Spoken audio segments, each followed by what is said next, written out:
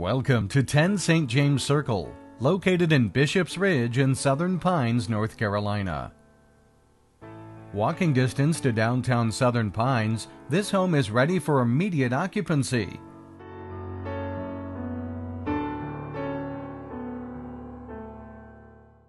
The immaculately kept landscaping welcomes you into this two bedroom, two bath home with substantial living space for entertaining family and friends a laundry room with built ins, and a very spacious kitchen with all stainless steel appliances.